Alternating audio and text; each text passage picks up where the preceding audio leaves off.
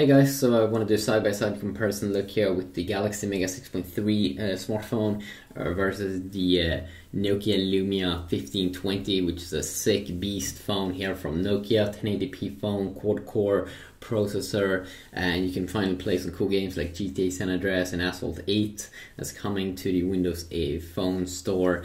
Uh, and then we do have this mid-range Samsung phone uh, which is actually performing pretty nice uh, to be for being like a mid-range phone the AMOLED screen is not as good as, uh, or the screen is not as good as you would get on an S4, uh, but it's still pretty pretty decent actually. Uh, and you can see them in terms of size; they are almost uh, the same kind of size here.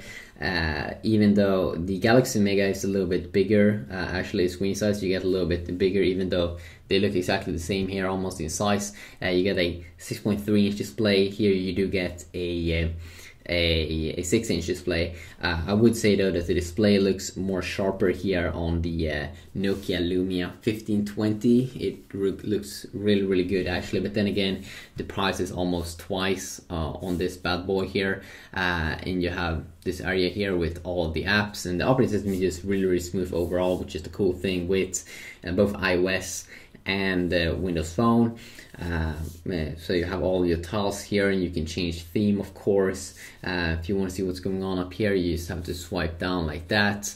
Uh, you have a quick search button down there to go to Bing if you do like that. A sick camera, 20 megapixel camera um, versus only some pretty mid-range specs here on the uh, Galaxy Mega 6.3, a dual core pro, uh, dual core processor and um, uh, you also do get actually a pretty decent uh, gaming uh, engine there.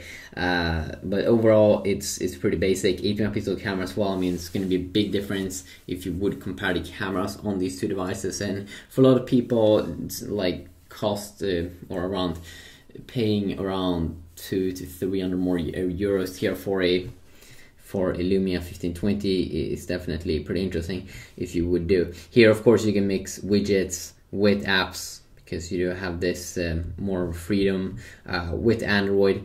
Uh, and the cool thing also with Android is that you uh, you can customize the UI completely.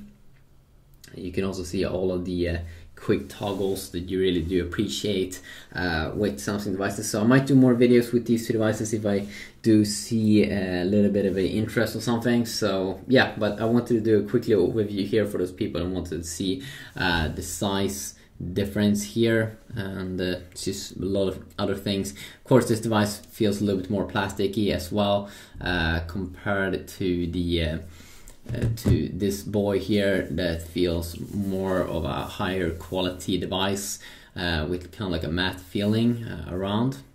So yeah it's a quick little video here checking them out for fun. So hopefully you enjoy. Peace out